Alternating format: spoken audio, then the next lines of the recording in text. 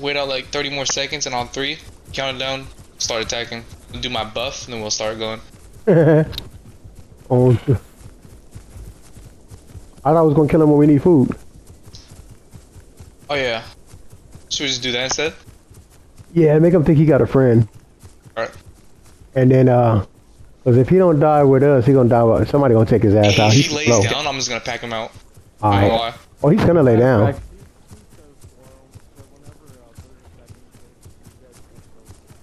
Yeah.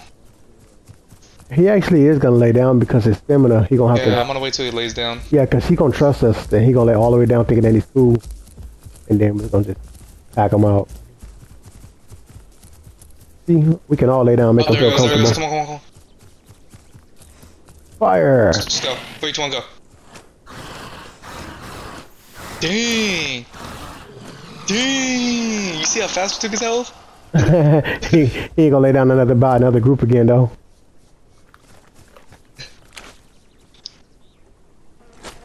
Kill for fun. We hunt for sport.